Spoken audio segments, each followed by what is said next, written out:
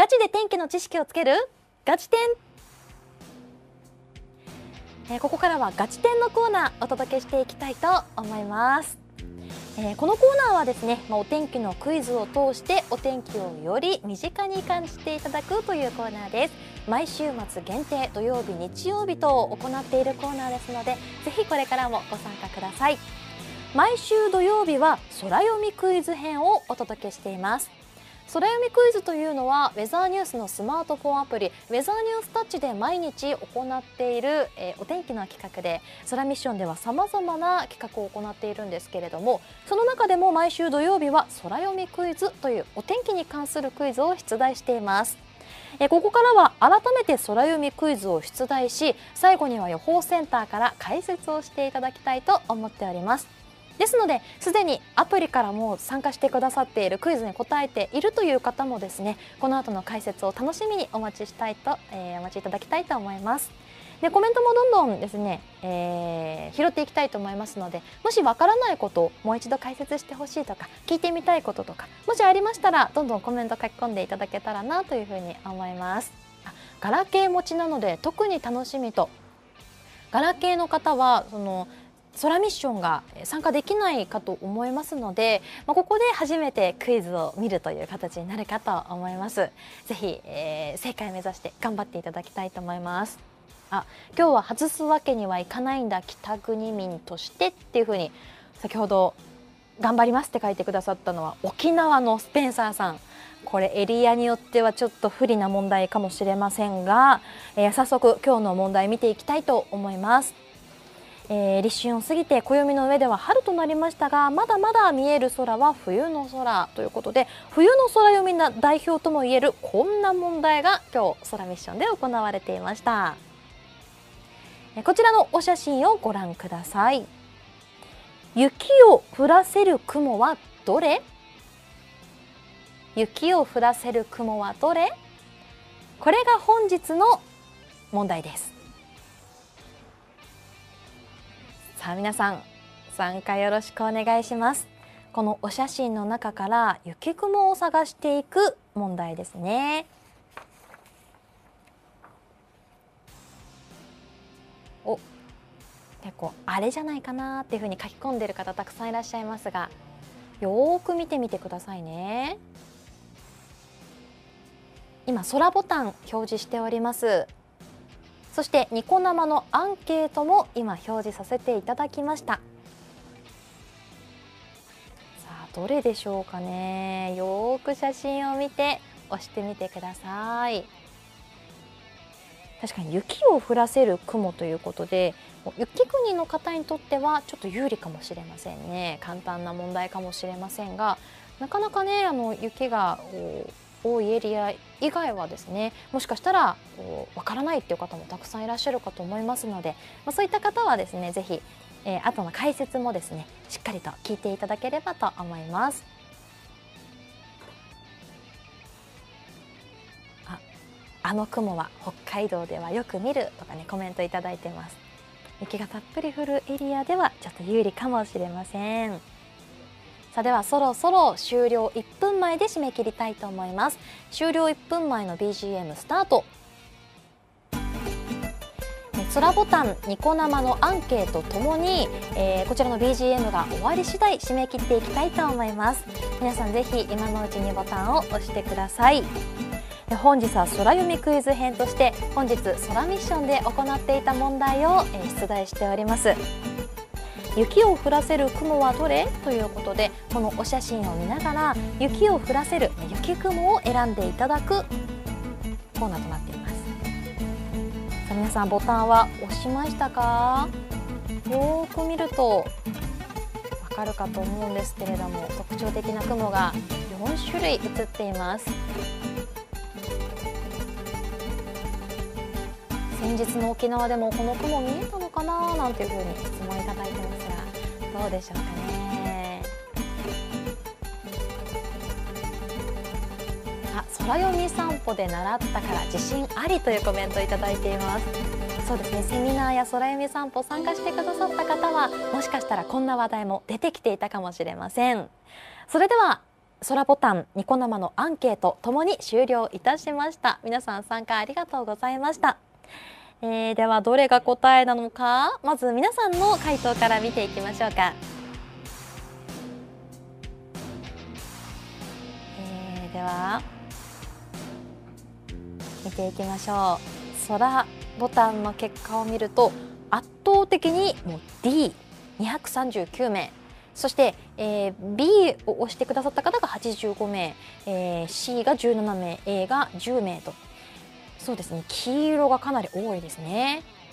えー、そしてニコ生見ていきますとニコ生はあ B の方が多い。49.1%空ボタンと分かれましたね、えー、次に多いのが D37.5% そして A が 9.5%C が3.9%という結果になりました。確かに皆さんこの2つどっちかなっていうふうに迷った方が多いみたいなんですが答えはどれでしょうか？見ていきましょう。これでした。じゃん。答えは？えー、D 黄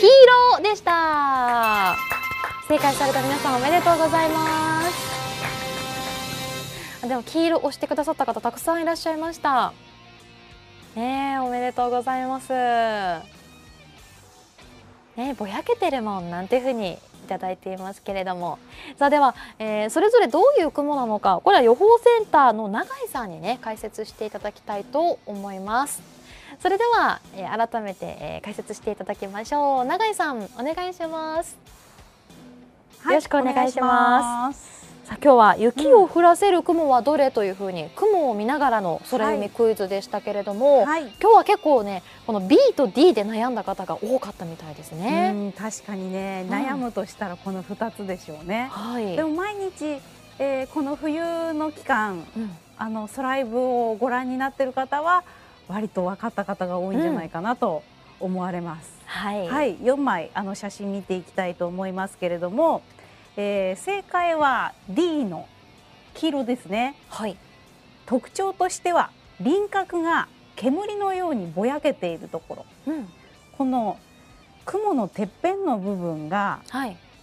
まあ、いわゆるよくねあの落書きで雲描いたりとかする時みたいに、はい、もくもくしてない煙のようにぼやけているというのが雪雲の特徴です。はいまあ、あの雲自体が氷の、えー、粒ですとか、うん、えー、水滴ですとか集まってできているものですけれども、うん、雪の結晶って、はい、まああのいろんな形ありますよね。あの六角形だったりとか、はい、六角形の、えー、花の板状っていうか薄かったりとか、うん、風を受けて結構舞い上がりやすいと、はい、いうことで降ってきてもふわーって風に飛ばされて舞い上がっているのでぼやけて見えるということらしいんですよね。はい、はい、うんうん、でこれに比べると雨粒はまああの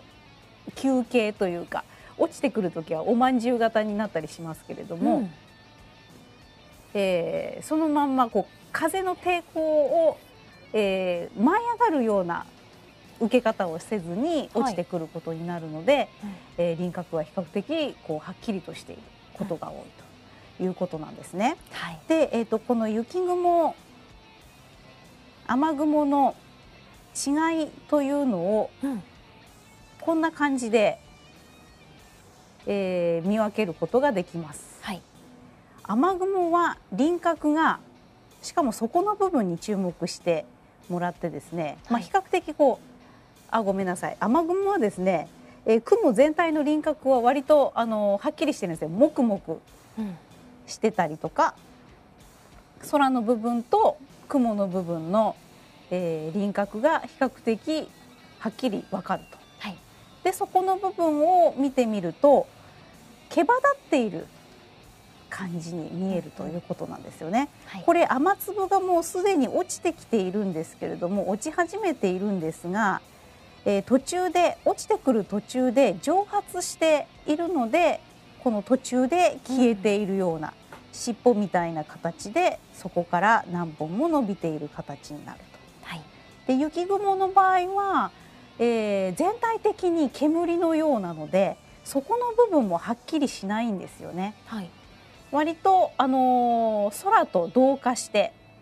いると。うん、でしかもあの雪雲って割と低いところにかかっていることが多いので、はい、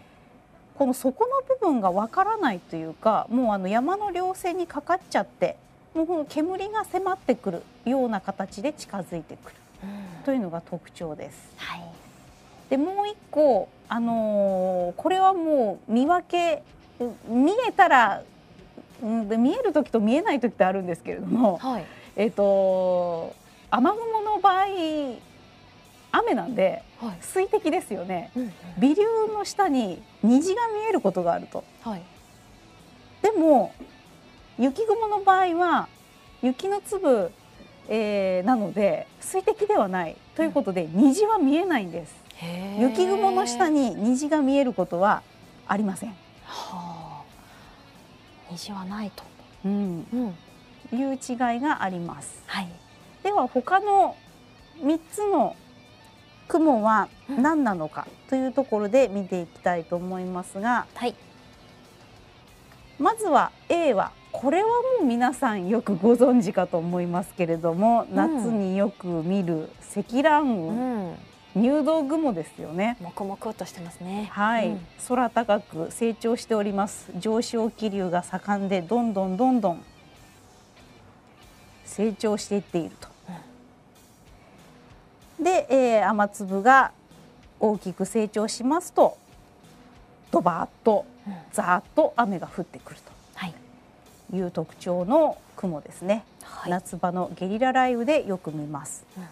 さらに皆さんがちょっと間違えた方も多かったという B これ多かったですね。ねどんよりとしてるもん。なんか怪しいなっていう感じしますもんね。うん、鉛色の空だからこれ雪降ってきてもおかしくないって思うかもしれない。ですがこれ本当にねあのちょっと不気味な雲ですよね、はい、特徴的な形をしているこの部分なんですけれどもこれアーチ雲って言います、はい、アーチ雲ってとってもこう危険なサインっていう時がありますね、うんはいアーチ雲は積乱雲の先ほど見ていただいた積乱雲の底の部分にできることが多いです。というかできるものです、はいうん、どんな仕組みかというと先ほどの A の写真積乱雲、もくもく盛んに上昇気流が起きて、うん、空気が動いております、はい、でこの中でざーっと雨粒が落ちてくるのと一緒に冷たい空気が雲の底から吹き出すことになりますと、はい、この地上付近に小さな前線ができます。これガストフロントって言われるんですけれども、うん、このガストフロントは雲から吹き出す冷たい空気の空気と周りの暖かい空気の境目前線になってます、はい、そうすると冷たい空気は重たいので下に潜り込みますよね、うんそうすると周りの空気が持ち上げられてこのガストフロントの斜面を駆け上がるようにして上昇していく、うん、そうするとこのあったかい空気、まあ、水分も含まれております、はい、これが上昇することで雲が発生すると。つまりこのアーチ雲があるっていうことはもう積乱雲がもう発達しきって、えー、冷たい空気これ突風ですねがもう吹き出しているというサインなんですよ。ということでこのアーチ雲が見えると、えー、急にこの突風ですね冷たい突風が吹き出すっていうサインにもなりますし、はい、このアーチ雲の下に、えー、いわゆる竜巻小さな竜巻ガストネードっていうんですけれども、はい、竜巻ができてこれが、えー、激しい風を巻き起こしてえー、建物を壊したりとか、いろんな影響が出てくるということで危険な雲です。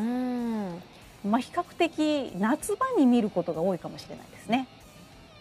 ちょっと覚えておいた方がいいですね。はい、そうですね。またね、うん、ソライブのね時間でも多分出てくると思いますよ。はい。はい。うんというのがこれが B の雲です。うん、アーチ雲ですね。はい。はい、そして C のこちら、うん、これも空読みでよく出てきますね。はい。えー、鱗雲からなみなみ雲に変化してきているような写真ですけれども、うん、このなみなみした雲、まああの空気が上空の空気がですね上下に波打っていてえー、上昇気流が起きるところで雲が発生して下降気流が起きるところで、えー、雲が消えるというようなのがこうさざ波のように上空の方で波打っているということでできる雲なんですが、はい、これよく天気下り坂のサインと言われます。はい、このなみなみした雲が見えてえー、まだですねこの C の写真ぐらいだと隙間にだいぶ青空が見えてて空も明るいっていうことで、うん、お天気崩れるまでに半日か1日かかかるんですけれども、はい、このなみなみ雲がどんどんこう太くなってきて雲の部分が。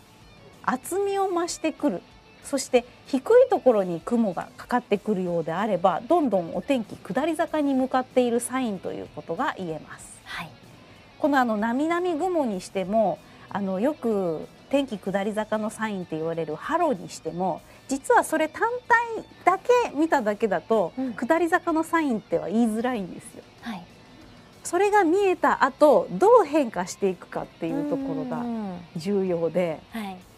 雲が厚みを増してくるっていう変化があるとか低いところにかかってくるっていう変化があると、うん、天気下り坂のサインということが言えます。なるほど、はい、まあ、今回ですねこのクイズも正解した方もたくさんいらっしゃいましたが、はい、まあ、他のこの雲の、ね、特徴っていうのも覚えておいていただきたいですね。そうですね。はい、うん、では永井さんありがとうございました。さあでは予報センターの永井さんに解説をしていただきました。ね、こちら天気番組見てるから簡単だよっていう風にアメーバフレッシュからもコメントいただいていますけれどもソライブ24でもね結構お伝えしているのでこの雪雲っていうのはこの輪郭がこうぼやっとした雲ですよっていうのは結構ねお伝えしてきているのでもしかしたらこの番組にずっと参加していたりとかあとは雪国っていう方はちょっと有利だったかもしれません。えー、ただあまりね雪が降らないような地域ではですねこの雪雲と雨雲の違いってなかなかわからないんじゃないかと思いますのでぜひ皆さんもですねこれをきっかけにこんな雲が雪雲なんだな他の雲はこういう特徴があるんだなというのをですね覚えておいていただければと思います。えー、それではガチで天気の知識をつけるガチ天のコーナーお届けしていきました。